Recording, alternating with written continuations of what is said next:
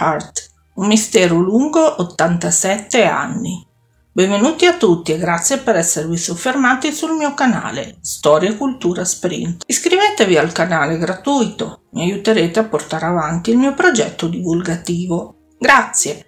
Vi ricordo che è possibile abbonarsi al canale, un piccolo ma fondamentale contributo. Amelia Mary Earhart nacque il 24 luglio 1897 ad Hutchinson, in Kansas. Aveva una sorella minore di nome Muriel e con lei visse fino al 1908 con i nonni per poi raggiungere definitivamente i genitori in Minnesota. La personalità di Amelia fu sempre ben definita, coraggiosa, intraprendente ed estremamente dinamica. Ma Amelia fu anche molto altruista e dopo aver conseguito il diploma in infermieristica restò a servizio negli ospedali militari canadesi per tutto il corso della Prima Guerra Mondiale. Il 1920 fu l'anno che segnò il destino della giovane Amelia, la quale, durante la visita ad un raduno aeronautico a Long Beach in California insieme a suo padre, capisce che il volo era ciò a cui era destinata. In quell'occasione infatti Amelia sale per la prima volta in vita sua a bordo di un biplano e da lì a breve inizierà a eh, frequentare delle lezioni di volo. Amelia Earhart, incoraggiata e sostenuta dai suoi genitori, snocciola una serie di record a partire già dai primi anni 20. Sarà la prima donna a raggiungere l'altitudine di 4300 metri. Nel 1928 sarà la prima donna ad attraversare l'Atlantico a bordo di un Fokker F7 il Friendship. L'8 aprile 1931, a bordo di un Pitcairn PCA-2, stabilisce il record mondiale di altitudine e nel 1932, oltre a compiere la trasvolata in solitaria dell'Oceano Atlantico, Lady Lindy, come viene soprannominata Amelia, attraversa in volo gli Stati Uniti senza fare mai scalo, da Los Angeles a Newark, in New Jersey. Lady Lindy non si accontenta di aver stabilito questa serie incredibile di record.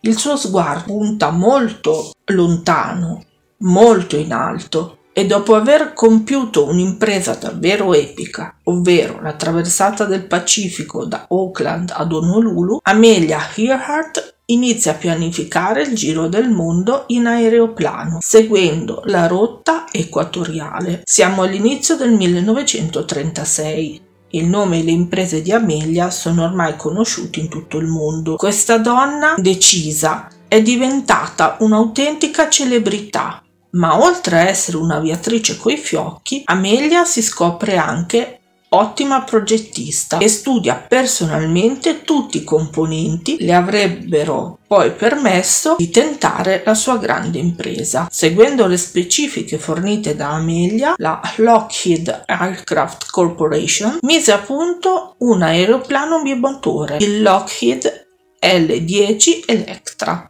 e dopo aver reclutato come navigatore il capitano Harry Manning e come secondo navigatore Frederick Noonan, venne stabilita la data della partenza, il 17 marzo 1937, giorno di San Patrizio. Ma questo primo tentativo andò in fumo a causa di problemi nel meccanismo del mozzo dell'elica. Un secondo tentativo, al quale non aderì il capitano Manning, prese il via il 1 giugno 1937, quando il velivolo L10 Electra, con a bordo unicamente Amelia e Noonan, decollò da Miami. Inizia così un mistero lungo ben 87 anni, ad oggi ancora avvolto nella nebbia più totale, ma con un'unica certezza.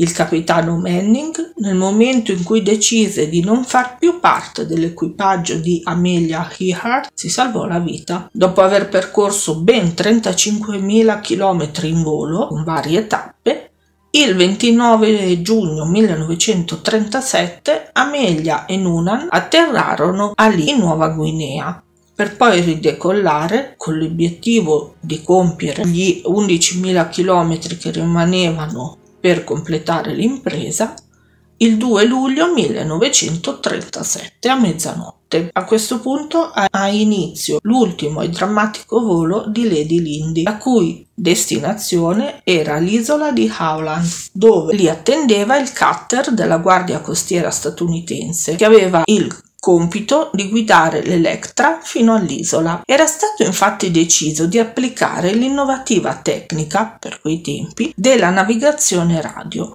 ovvero Amelia Earhart, nella fase di avvicinamento ed atterraggio all'isola di Howland, avrebbe dovuto farsi guidare dall'equipaggio del cutter, il cui nome era Itasca. Mi scuso, ma non so se si pronunci Itasca o Aitasca piuttosto che in qualche altro modo. Non sono riuscita a trovare questa informazione. Le teorie riguardo ciò che accadde quel 2 luglio sono tante.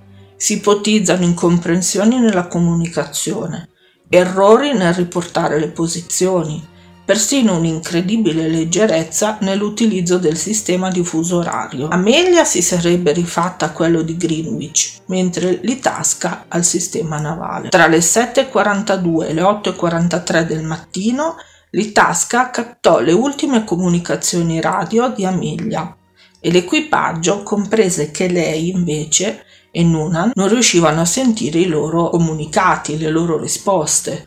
Evidentemente il sistema radio dell'Electra non funzionava a dovere.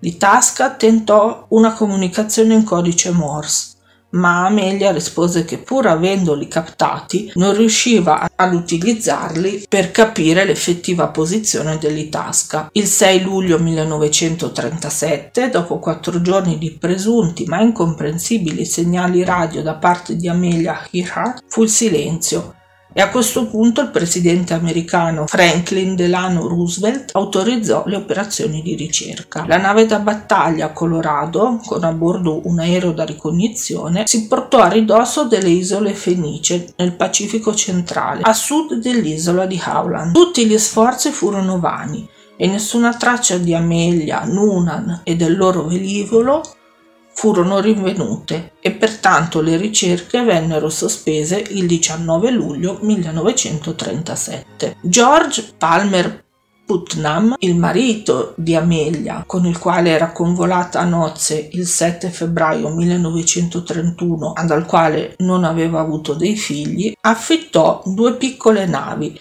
e raggiunse ed ispezionò oltre alle isole della Fenice le isole Gilbert e le Marshall ma anche lui purtroppo non ebbe successo.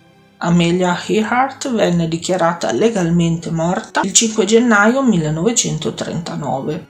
Nel corso degli anni sono state ipotizzate varie teorie riguardanti il destino di Amelia Earhart e di Frederick Noonan, si ipotizza la caduta in mare e l'inabissamento dell'Electra, come pure l'ammaraggio, seguito poi dal raggiungimento a nuoto di una delle isolette del Pacifico, oppure, come avrebbe dichiarato George Palmer Putnam Jr., figliastro di Amelia, l'aereo finì il carburante e si inabissò. Naturalmente non manca la teoria secondo la quale Amelia sarebbe stata coinvolta in un'operazione di spionaggio che le è costata la vita. Altri ancora sostengono che Amelia e Noonan siano stati fatti prigionieri da soldati giapponesi per poi essere giustiziati come spie o morti in un campo di prigionia. Un'altra ipotesi, smentita poi da esami forensi nel 2006, voleva che Amelia fosse sopravvissuta alla prigionia e fosse rientrata in America con il nome di Irene Craigmile Bolam.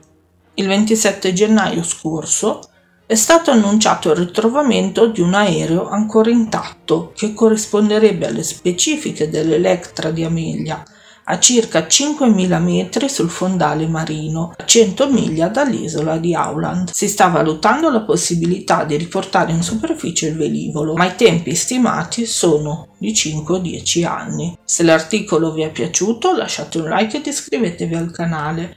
Grazie e alla prossima!